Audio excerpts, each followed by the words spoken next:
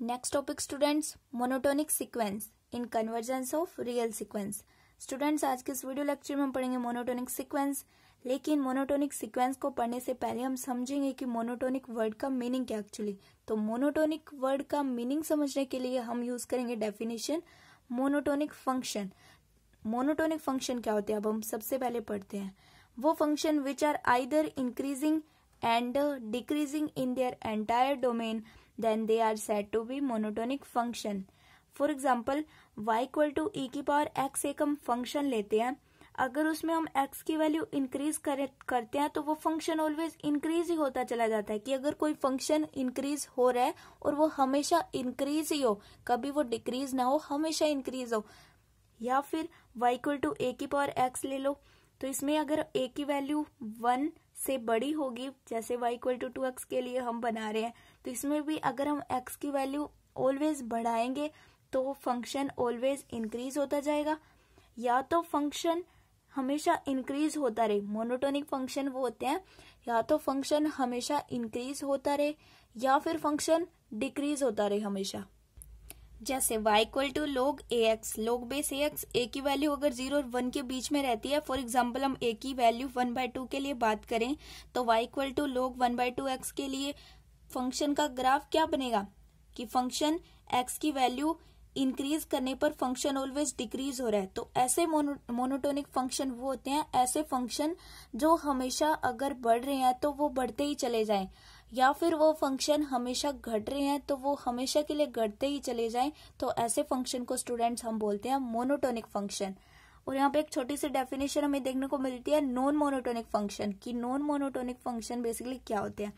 Function which are increasing which are increasing as well as decreasing in their domain are set to be non monotonic function जैसे y equal to sine x sine wave अगर हम बनाते हैं तो for example हम sine wave बना रहे हैं तो फ़ंक्शन की वैल्यू कभी इंक्रीज हो रही है? कभी डिक्रीज कभी इंक्रीज कभी डिक्रीज जैसे y equal to x square में पहले फ़ंक्शन की वैल्यू डिक्रीज फिर इंक्रीज तो ऐसे फ़ंक्शन जो कभी डिक्रीज होते रहे, कभी इंक्रीज कभी डिक्रीज कभी इंक्रीज ऐसे फ़ंक्शन कहलाते हैं नॉन मोनोटोनिक फ़ंक्शन तो मोनोटोनिक नॉन मोनोटोनिक फ़ंक्शन हमने पढ़ लिए।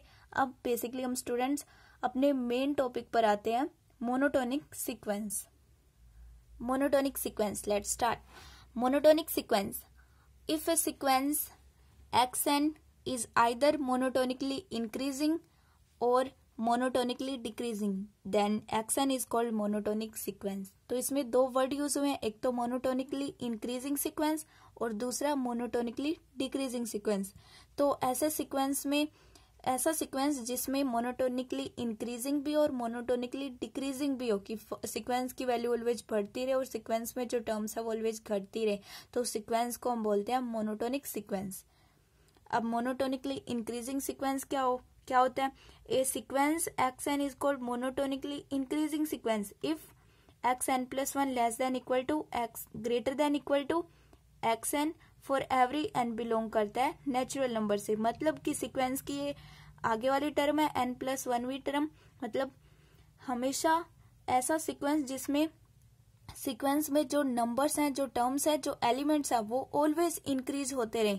तो ऐसे सीक्वेंस को हम बोलते हैं मोनोटोनिकली इंक्रीजिंग सीक्वेंस अब उसमें एक और कंडीशन भी अप्लाई होती है कि अगर सीक्वेंस में एलिमेंट्स बढ़ रहे हैं ऑलवेज इंक्रीज हो रहा है सीक्वेंस तो वो उसमें जो सीक्वेंस में एलिमेंट्स है, जो नंबर्स हैं, वो रिपीट भी हो सकते हैं। तो ऐसे सीक्वेंस को हम बोलते हैं मोनोटोनिकली इंक्रीजिंग सीक्वेंस इस कंडीशन का मतलब यही है, जैसे ये आगे वाली टर्म को ग्रेटर देन करके दिखाया हुआ है।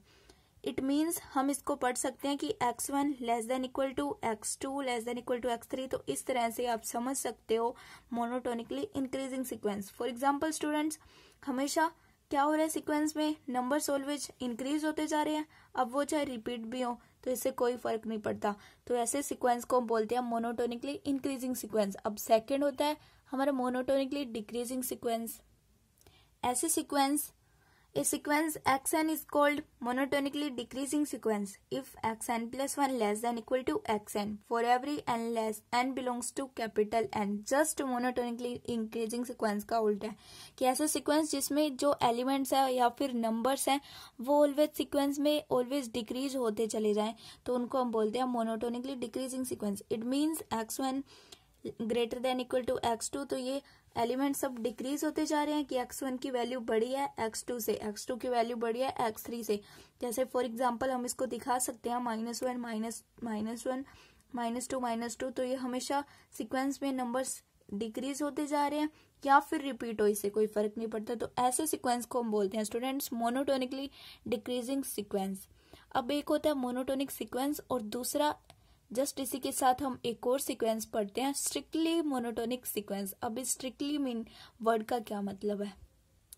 Let start strictly monotonic sequence if a sequence x n strictly monotonically increasing और strictly monotonically decreasing then x n is called strictly monotonic sequence तो ऐसे सीक्वेंस ऐसा सीक्वेंस जिसमें स्ट्रिक्टली मोनोटोनिक इंक्रीज भी हो स्ट्रिक्टली मोनोटोनिक डिक्रीज भी हो तो उसे बोलते हैं स्ट्रिक्टली मोनोटोनिक सीक्वेंस अब यहाँ पे स्ट्रिक्टली मोनोटोनिकली इंक्रीजिंग सीक्वेंस क्या होता है और स्ट्रिक्टली मोनोटोनिक डिक्रीजिंग सीक्वेंस क्या होता है? तो अब हम उस पर स्टडी करते हैं कि स्ट्रिक्टली मोनोटोनिक इंक्रीजिंग सीक्वेंस क्या होता है। A sequence x n is called strictly monotonic increasing sequence if x n plus 1 greater than x n for every n belongs to capital N. Strictly word का मतलब यहाँ पे है कि यहाँ पे इक्वल टू की कंडीशन अप्लाई नहीं होगी कि अगर कोई फ़ंक्शन अगर कोई सीक्वेंस सीक्वेंस के नंबर्स या फिर हम उस, उनको बोलते हैं एलिमेंट्स अगर कंटिन्यू इंक्रीज हो रहे हैं तो वो कंटिन्यू इंक्रीज ही होने चाहिए वो रिपीट नहीं हो सकते।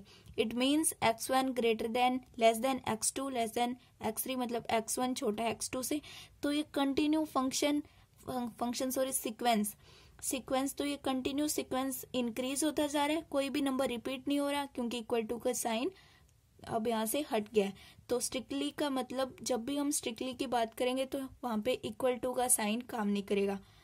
तो for example n equal to n का सिक्वेंस हमने बनाया वन टू थ्री इसमें कोई भी नंबर्स रिपीट नहीं हो रहे तो हमेशा के लिए बढ़ता जा रहा है। तो इसे बोलेंगे हम स्ट्रिक्टली मोनोटोनिक इंक्रीजिंग सिक्वेंस और या फिर दूसरा एग्ज़ाम्पल एन अपन में एन प्लस वन देख लो, इसमें भी कोई भी टर्म रिपीट नहीं हो रही। तो ऐसे सीक्वेंस को हम बोलते हैं और हमेशा ये कंटिन्यू बढ़ रहा है।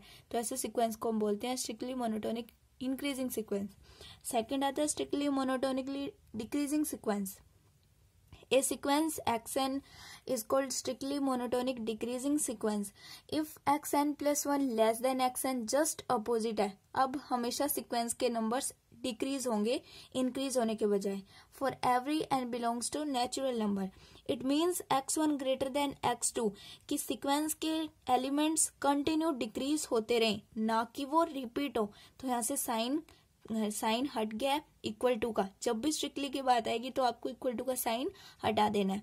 तो for example minus n sequence की हम बात करते हैं minus one minus two minus three minus four तो इस सिक्वेंस के एलिमेंट्स माइनस वन से इन्फिनिटी तक सिक्वेंस है माइनस इन्फिनिटी तक। तो इस सिक्वेंस में एलिमेंट्स कंटिन्यू डिक्रीज हो रहे हैं रिपीट नहीं हो रहे, क्योंकि हर एक एलिमेंट डिस्टिंक्ट है। डिस्टिंक्ट बोले तो अलग अलग एग्ज़ाम्पल नंबर टू हम देख सकते हैं वन अपॉन एन है। तो वन से ये ज़ीरो तक जाएगा। वन से ज़ीरो तक जाएगा तो वन से ज़ीरो तक जा रहा है तो कंटिन्यू डिक्रीज हो रहा है। तो ऐसे सिक्वेंस को हम बोलते हैं स्ट्रिक्टली मोनोटोनिक डिक्रीजिंग सिक्वेंस तो ये था स्टूडेंट्स मोनोटोनिक सिक्वेंस और उसी के साथ हम पढ़ते हैं स्ट्रिक्टली मोनोटोनिक सीक्वेंस जिसे मैंने आपको समझाया। तो आई होप आपको समझ आया होगा स्टूडेंट्स